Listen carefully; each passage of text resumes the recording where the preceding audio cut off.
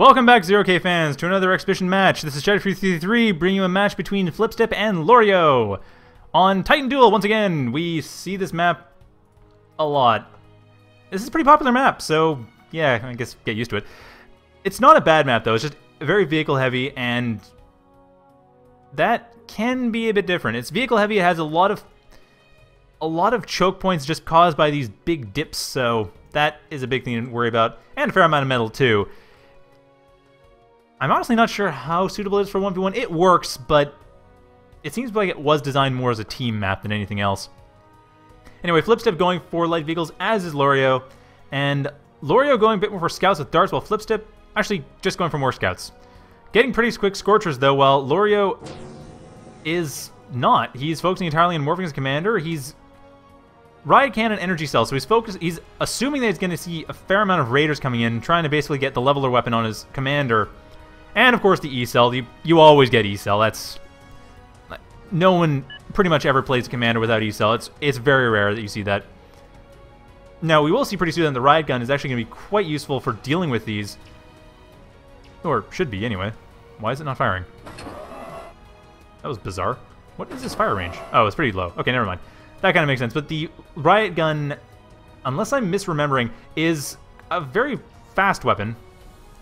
I mean, the Leveler weapon it, is an extremely fast weapon. It is basically hits almost as soon as it fires. That's the great power of it to deal with Raiders. And as we can see, Lorio, he is trying to scout around. Flipstip does have his base fairly well defended. Flipstip does have a Lotus up, as does Lorio. I mean, both players are getting some safe defenses. Probably a bit too soon, but it's not that terrible. Especially at this level, it's not going to be that big of a deal.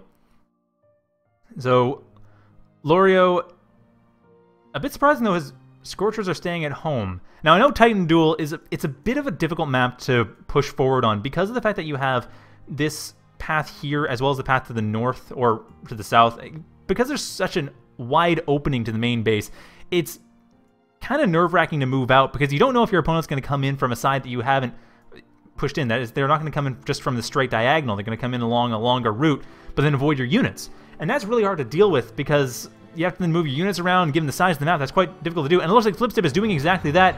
Granted, it's with a dart, but it's still something to worry about. So Lorio focused probably a bit too much on defense. He should be moving forward. He should be trying to make sure that he has enough well, enough units forward to get map control and also try to harass Flipstip a bit. Admittedly, it'd be a little bit difficult, but at this point, there isn't any defense on this Metal Extractor. There is some defense on this Metal Extractor here, but the Lotus will be taken care of by the Slashers without issue. And it looks like he is starting to move forward. Yes, he is indeed moving forward with these Slashers. And, sorry, not Slashers, with Scorchers. Slashers are being built by Flipstip in order to deal with Lorio's incoming forces. And Lorio, he's falling back. Why isn't, I mean, yeah, why is he not attacking that? Okay, more better question. Why is he not falling back, and then in the process of falling back, forcing Flipstip's slasher to come to him, going to the slasher and attacking it while it's in motion. Because that's what you want to do with slashers. You make, make sure they're moving and then attack them as they're moving. And it looks like he is now doing that. Lorio coming in and dealing with that slasher, no problem, especially with his commander up front.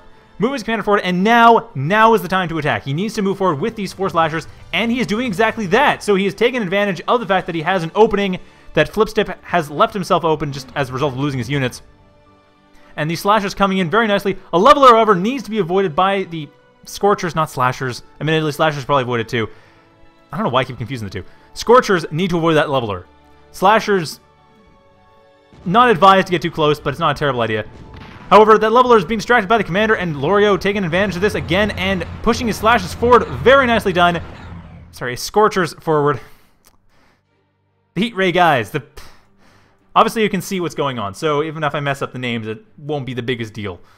These are Scorchers, and they're moving forward. However, a lot of damage has been dealt, and they won't be able to easily get through. Now, two of them... No, none of them are going towards the side. Obviously, a bunch of them are going towards the side, and that will help, but...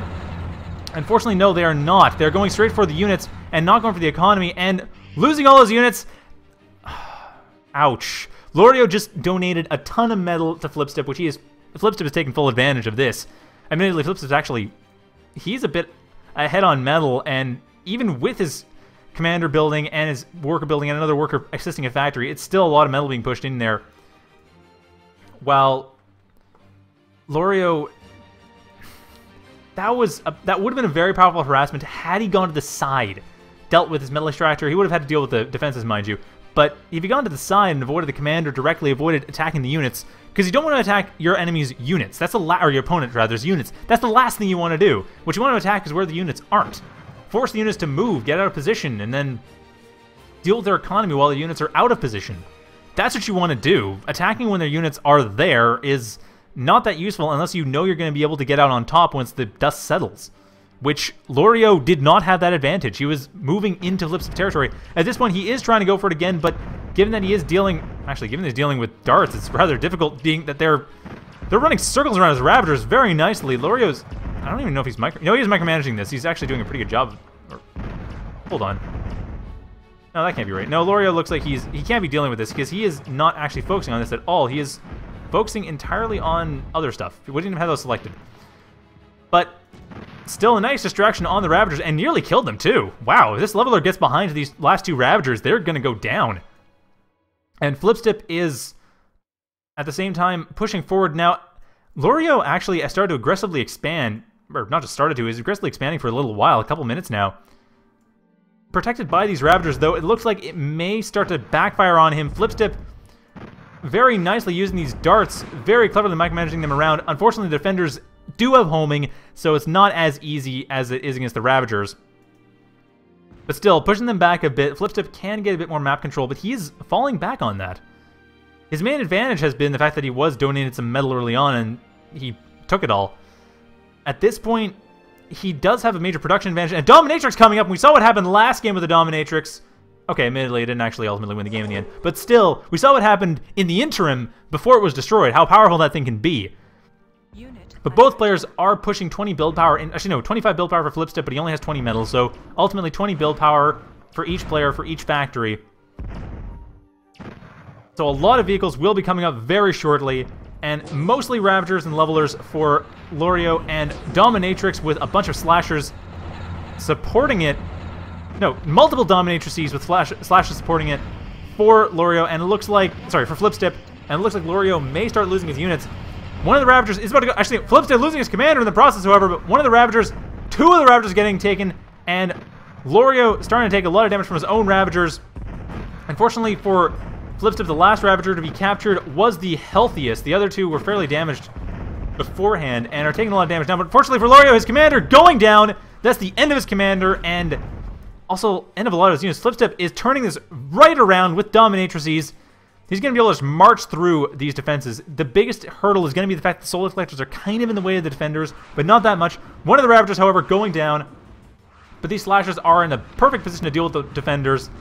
Now, more Ravagers coming in from Lorio. He is building more and more Ravagers and Levelers, not countering Dominatrix the Dominatrix, but more Dominatrices are on the way for Flipstip. So Flipstip entirely focused essentially on unit Judo, using his opponent's strength against him, and that is actually not working out especially well. I mean, it's working out okay, but his main asset is actually being these slashers. The fact that he's capturing the Ravagers is counting for not all that much. It's it's definitely growing. The strength of that is growing, but his slashers are right now the biggest thing for him.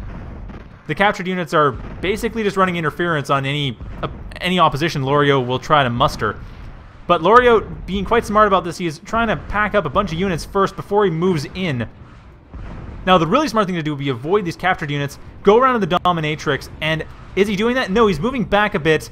If he goes around to get this Dominatrix, he doesn't know where it is, unfortunately, for him. He does have radar coverage. Actually, he knows that he just walked into radar coverage. I think he knows what it is. I'm pretty sure he'd have the information that it is, in fact, a Dominatrix. So if he goes up there and kills that Dominatrix, then he will have most of his units back.